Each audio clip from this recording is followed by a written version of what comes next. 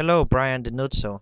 This is uh, Roberto and Carlos, and um, I promised that we were going to be showing a little bit of uh, what we have so far. This is just uh, an idea. It, it's all code, but we're just going to show you a couple windows that we have created before the meeting that we had with you the other day. And um, what we're going to see now, this is uh, uh, the platform that we're using. That is a main window. It's an idea of a main window. We still uh, don't really sure we're not really sure what we're going to be doing. If you if you can see there's an add tutor there's an add student tutor report and a student report also.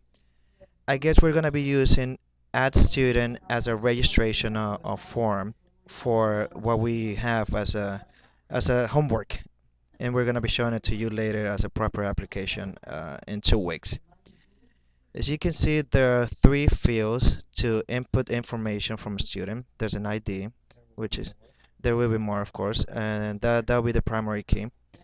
There's a first name and last name and then when the student has inputted his information he could actually do a search of the um, tutoring sessions uh, available uh, during the period of time. That's the first window. We can add a tutor.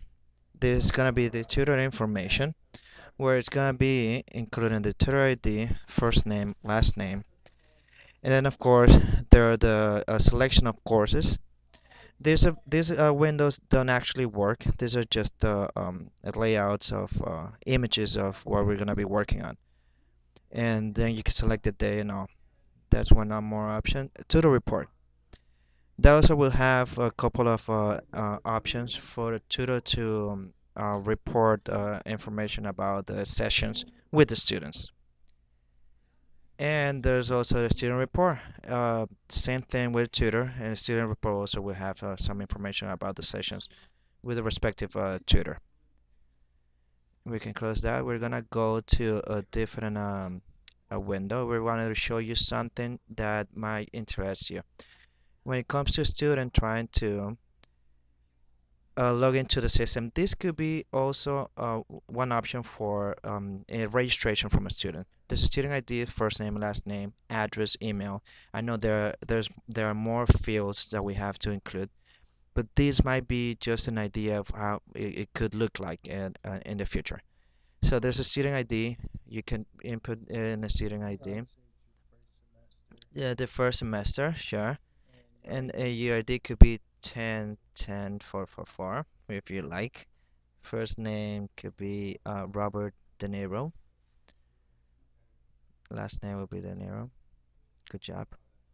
Address um, Beverly Hills uh, in LA and email De Niro Al Pacino. All right perfect. So we're gonna register uh, that student and has been successfully added to the system. All right, let's say we, um, this student, we close that window and we also close the uh, platform that we used to create uh, that window. By the way, you don't need, what this is just uh, the way it's compiled by the platform. As an application, it's just an icon that you're going to have in, on, on your desktop. And we came back to the same uh, uh, platform there's another semester, maybe a, a couple a, a year later. A student comes back and he wants to uh, uh, register for a couple more uh, uh tutoring center sessions. All right, no problem. We um, just input his uh, last uh, student ID, which was 444, and and once we uh, enter that, we're gonna find that his information is in the system because it's been stored in a database in the program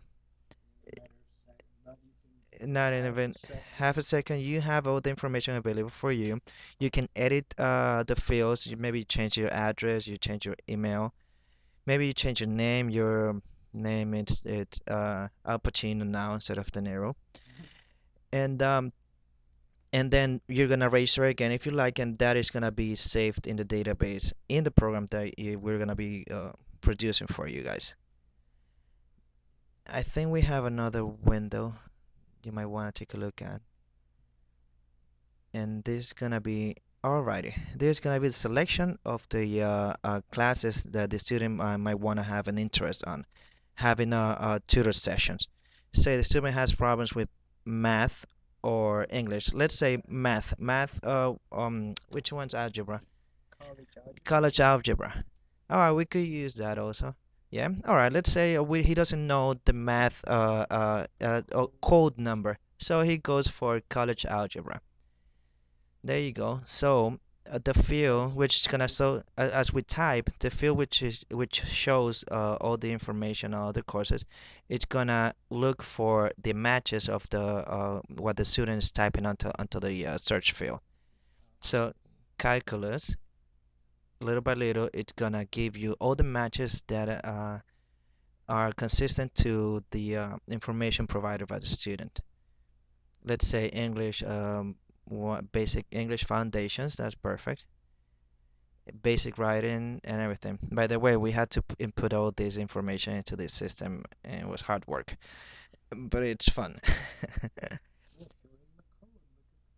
And that's plenty of code, and uh, it's also plenty of work. But we know this is a professional uh, uh, application, and we're ready to and willing to uh, uh, do all the needed code for for this.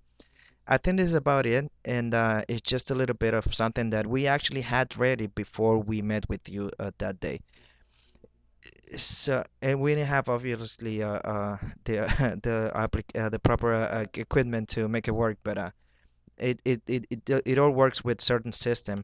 But when once you have an executive, well, it's gonna work everywhere. And uh, well, thanks for your time. I think we're gonna be seeing you soon, and I hope you have a nice weekend. Thank you, thank you, Brian. Bye.